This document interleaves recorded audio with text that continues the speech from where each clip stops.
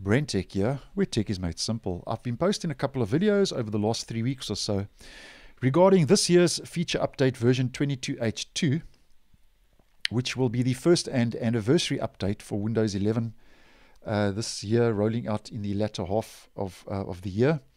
And um, I've been posting a couple of videos um, in the last couple over the last couple of weeks regarding Windows 11 version 22H2, the RTM status for the feature update.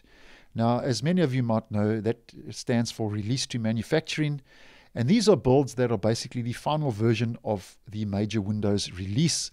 And Microsoft rolls out the Release to Manufacturing builds uh, to its OEMs, that's original equipment manufacturers and partners, for them to try out uh, the more or less finalized version and build of the feature update um, to test their drivers, hardware, and so on, just to ensure a smooth and stable rollout uh, for its OEMs.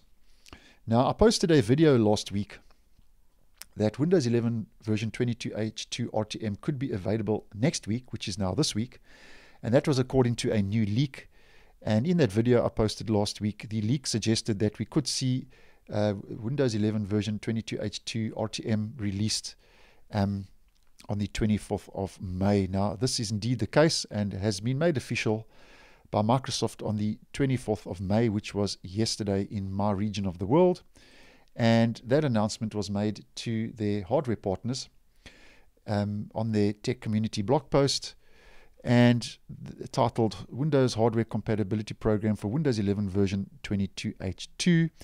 And if we just head down to this little uh, section here, um, this uh, tells us that they have and now finalized that RTM build, Windows 11 version 22H2 certification build, minimum acceptable build for Windows 11 version 22H2 certification is RTM build 22621 and build 22621 if you have been following this channel and are an insider well you will know is preview build 22621 which rolled out to the beta channel insiders more or less two weeks ago or so on the 11th of May this year 2022 2.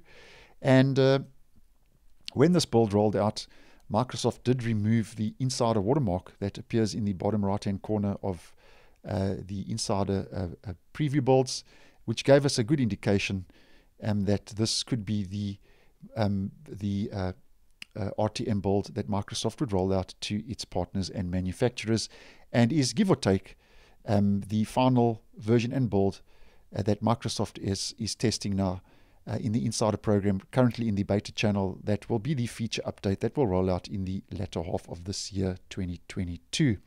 Now, regarding the release time and date for version 22H2, um, there is another hint here that Microsoft gives in this announcement they made yesterday. And if we just go down to this paragraph right at the bottom, they say uh, Windows 11 version 22H2 based systems may ship with drivers that have achieved compatibility with Windows 11 version 21H2, which, as many of you know, is the current stable version of Windows 11 up until September the 5th, 2022.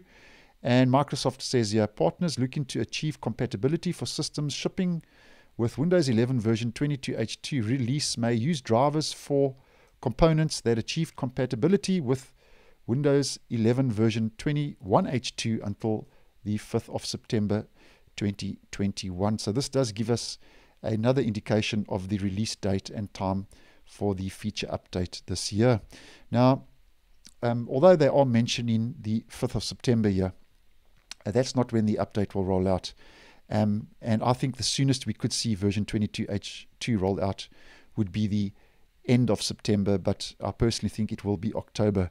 Now, there were reports which I have posted on that suggested we could see the update rollout as soon as August or September, but according to this announcement and this paragraph, that is not going to be the case.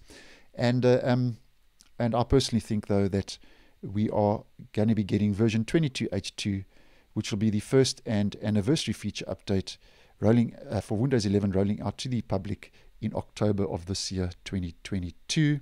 Now, um, so that means anywhere between the end of September and the end of October, possibly into November.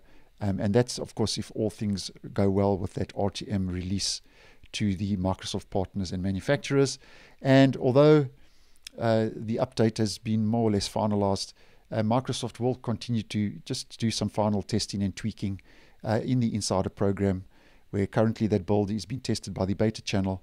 And then we obviously that will be with updates that roll out uh, to uh, the uh, Insider program.